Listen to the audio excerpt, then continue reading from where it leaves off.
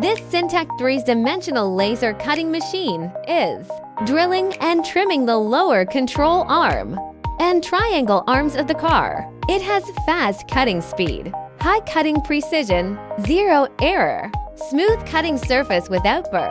The heat affected zone is small and no deformation on it still maintains the original strength of the material. Only one processing step is needed now. The cutting can be formed in one time. There is no need to customize the mold. The drawings can be switched directly through programming, which can easily cope with small batches and multi-model production.